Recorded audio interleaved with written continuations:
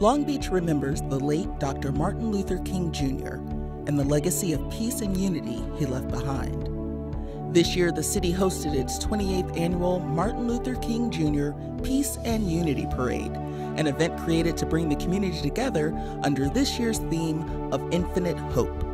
When we talk about infinite hope, you have to understand the word hope is always something positive, but the infinite hope is let you know infinite, that's like infinity. Never ever stop, you know, giving up on the hopes and dreams that Dr. Martin Luther King talked about. Because at one time, I think a lot of us just said, why? And then we have to say, why not? And that was Dr. Martin Luther King model never ever give up because too many people died for it. And not only blacks, but all nationalities, you know, was able to have that struggle that Dr. Martin Luther King went for. And I am so thankful that I'm a part of his legacy to let people know I'm here to try to do everything I can to keep hope alive. The parade grand marshals included community leaders who have served and uplifted Long Beach. And as a special treat, this year's Children's Youth Grand Marshal was none other than Minnie Mouse. Fun loving Minnie proudly took to the parade route alongside elected officials, faith based organizations, and of course, marching bands. Onlookers filled the bleachers and lined the sidewalks as the parade made its way from Anaheim Street to MLK Junior Park on Lemon Avenue.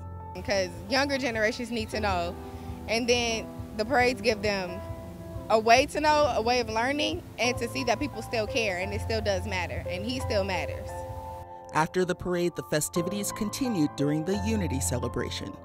This free multicultural event featured live music on the main stage and a dance floor where residents showed off their moves.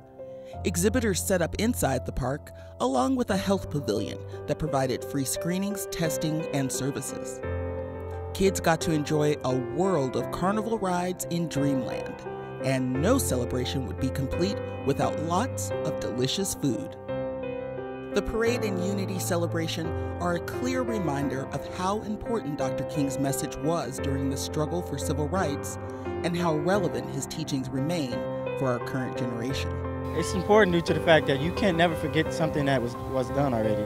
If I if you forget something that was done already, it's pointless. He he was a man of like you know wisdom. He did a lot of wise things. So if you forget this day, it's like forgetting what he done. But if you don't forget like forget about it like nothing happened, then it's gonna come back and keep repeating history.